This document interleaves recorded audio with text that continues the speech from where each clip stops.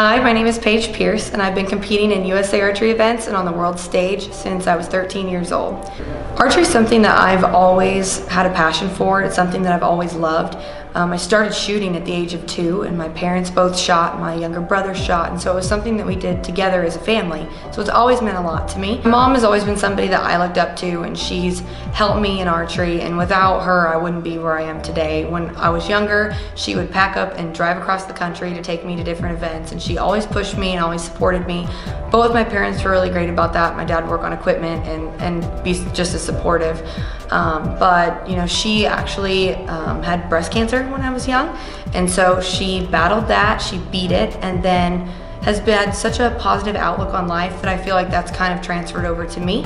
And so I've seen how scary life can be. So I feel like it makes me appreciate the opportunities that archery brings and the travel and the friends that much more. But then really I'm just such a competitive person that that really helps drive me to want to do better and perform better and continue to grow and improve. And it's hard when you're at the pro level, everyone is so good and the growth that you make is minimal but in the outcome of the tournament, it's drastic. And so I just want to continue to improve and work hard, both physically and mentally within the sport, um, you know, stay at my peak. Do you have something you're working towards? sounds bad, but I'm kind of doing it. Can I just say great, that? yeah. Okay. Um, so when I was younger, I used to set a lot of different goals as far as score and performance, and obviously I still have those goals. But really what I wanted to do is partner with good companies who have a good foundation, solid products, and and good morals because I think that's something that's really important.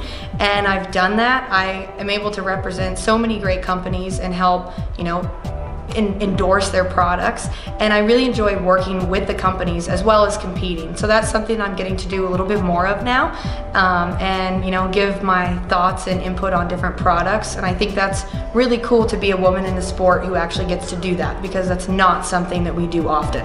So I'm, I'm really thankful for the people in the industry that I do get to work with and I respect them I, I mean hopefully as much as they respect me. So a lot of you know me for you know, my shooting, but I also do some other stuff outside of archery. So I have a job in the industry. I actually help run a nonprofit organization called Kids Outdoor Sports Camp, and I'm also a hunter ed instructor. So within that camp program, we run summer camps for kids where they can come out, earn their hunter education. I teach them how to shoot archery, rifles, shotguns, teach them how to fish, and really just teach them everything about the industry and let them experience that for themselves. We also teach the kids about the importance of conservation and the beauty of it is it's not just based around hunting um, because I compete in tournaments as well. You know, we teach them about the, all the aspects of the industry that they can get involved in.